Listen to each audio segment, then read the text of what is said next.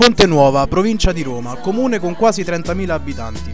Da diverso tempo sono chiusi tutti i giardini pubblici. A via 2 giugno si trova la situazione più complessa. L'ufficio preposto del comune risponde che al momento i giardini sono chiusi e che non se la sentono di riaprirli. Ma perché? La causa della chiusura sembra essere dovuta allo scarso controllo ed il conseguente vandalismo. Sono stati sottratti, riferisce l'ufficio, addirittura i giochi recentemente installati nell'area, anche se quelli di dimensioni più grandi sono presenti. L'ufficio riferisce poi di alcuni individui che si recano nei giardini per drogarsi, lasciando sul luogo delle siringhe che per i bambini non sono proprio l'ideale. Ad aggravare la situazione ci sarebbe poi una colonia di topi che dai terreni limitrofi entrano nei giardini dal retro, dove è presente una rete, più volte riparata, ma sempre sistematicamente rotta dopo alcuni giorni.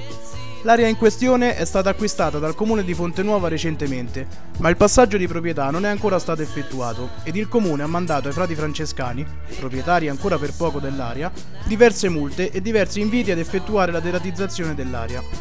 Da parte loro i frati, oltre a non avere una gran disponibilità economica, non si spiegano come possano eliminare i topi in una zona prevalentemente di campagna con una semplice deratizzazione e la vedono come una scusa non capendo neppure perché debbano essere loro a provvedere, visto che l'area dei giardini sarà del comune e l'area limitrofa sarà oggetto di una riqualificazione, come promesso in campagna elettorale da entrambi gli schieramenti.